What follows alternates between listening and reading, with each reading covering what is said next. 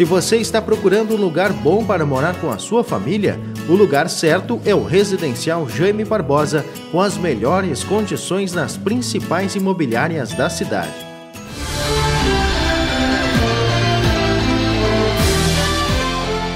Um jovem tapense morreu em uma colisão na BR-116 em Guaíba, próximo ao bairro Pedras Brancas.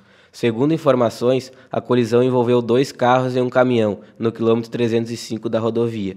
A Polícia Rodoviária Federal informou ainda que o acidente ocorreu após uma ultrapassagem indevida, quando um veículo Classic colidiu de frente contra um caminhão Mercedes-Benz de pequeno porte. Rodou na pista e atingiu o Corsa em que Micael Rocha Munhoz, de 25 anos, dirigia. O jovem morreu na hora. O trânsito ficou bloqueado no local por mais de uma hora.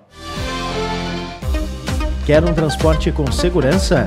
Venha para Limatur Transporte Escolar, Fretes e Viagens.